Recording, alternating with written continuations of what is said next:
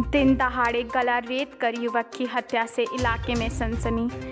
जौनपुर, बदलापुर, खुर्द गाँव में बकरी चराने निकले युवक की मंगलवार को दिन दहाड़े धारदार हथियार से गला रेत कर नृशंस हत्या कर दी गई। उसका शव शाम करीब साढ़े चार बजे घर से 600 मीटर दूर नाले के पास पाए जाने से सनसनी फैल गई।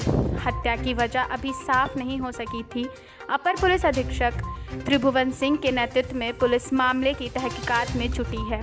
गाँव निवासी मोहम्मद हारून का 19 वर्षीय पुत्र कमरुजमा उर्फ़ निसार दोपहर में रोज़ाना की तरह घर से उत्तर 600 मीटर दूर नाले के पास बकरी चलाने गया था। शाम करीब साढ़े चार बजे नाले के ऊपर आम के पेड़ के नीचे शौच करने गया। कुछ ग्रामीणों की नज़र निसार के खून से लथपथ शव पर पड़ी।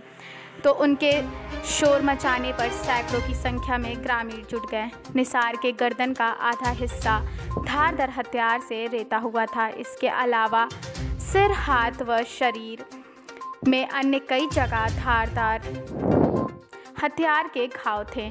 खबर लगते ही सीओ चौप सिंह व प्रभारी निरीक्षक पवन कुमार उपाध्याय भारी पुलिस बल के साथ मौके पर पहुँच गए। हत्या का कारण पूरी तरह से साफ़ नहीं हो सका। हालाँकि हारून ने थाने में दी गई तहरीर में आरोप लगाया है। कि उसके बेटे की हत्या पुरानी रंजिश के चलते की गई है। सुराग की तलाश में पुलिस ने मौके पर फॉरेंसिक टीम व खोजी कुत्ता बुलाया। फॉरेंसिक टीम ने घटनास्थल से अपने ढंग से साक्ष्य जुटाए। खोजी कुत्ता घटनास्थल सूंघने के बाद पूर्व दिशा में करीब 500 मीटर तक जाने के बाद रुक गया। करीब ढाई घंटे बाद पुलिस ने शव को पोस्टमार्टम के लिए भेजा।